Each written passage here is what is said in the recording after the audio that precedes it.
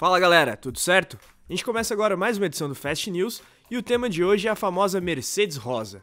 Mercedes Rosa por quê? A Racing Point em 2020 lançou um carro bastante parecido com o carro da Mercedes de 2019, por isso esse apelido.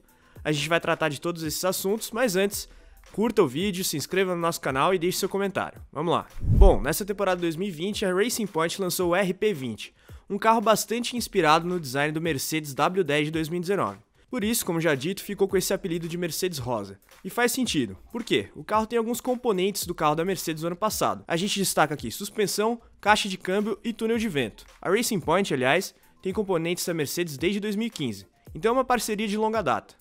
Mas o que mudou de 2019 para 2020 e permitiu que a Racing Point fizesse um carro mais competitivo? Bom, segundo o diretor técnico da equipe, o Andrew Green, o que mudou de fato foi o dinheiro. Vale lembrar, a Racing Point é a antiga Force India, a mudança de Force India para Racing Point aconteceu no meio de 2018, com a entrada do dinheiro da BWT, atual patrocinadora master da equipe. Com o tempo, veio também o dinheiro de Lawrence Stroll, pai de Lance Stroll, que comprou uma parte da Racing Point e colocou seu filho na equipe em 2019. Ou seja, mais bem financiada, a Racing Point teve bastante grana e bastante orçamento para fazer essas modificações que resultaram no RP20, também conhecido como Mercedes Rosa. Com toda essa grana, a equipe conseguiu mudar bastante o carro de 2019 em relação a 2020, ou seja, uma série de conceitos de design foram alterados. Segundo o diretor técnico da equipe, isso se deveu justamente ao dinheiro que permitiu com que a Racing Point comprasse novos componentes, muitos deles da Mercedes. Sem depender tanto de componentes obsoletos, a Racing Point claramente teve uma evolução do ano passado para cá, e a gente pôde ver isso na pré-temporada de 2020. Toda essa evolução, vamos dizer assim, despertou a ira dos rivais da Racing Point ali no pelotão intermediário.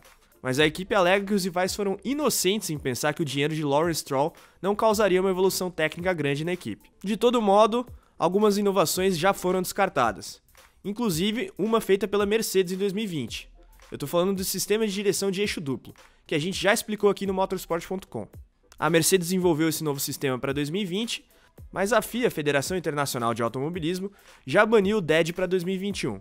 Ou seja, para não investir em algo que não vai ter resultado futuro, a Racing Point nem vai desenvolver o DED. Com ou sem DED, o fato é, o carro desse ano está bem melhor que o de 2019. E a gente pôde comprovar isso nos testes pré-temporada, especialmente com Sérgio Pérez. O piloto mexicano foi muito bem no teste de Barcelona e é um postulante à posição de melhor do resto no grid da Fórmula 1.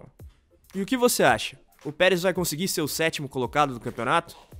E o Lance Stroll vai atrapalhar muito a Racing Point na briga de construtores? Bom, deixe seu comentário, suas sugestões, suas críticas na área aqui abaixo e não se esqueça, curta o vídeo e ative as notificações.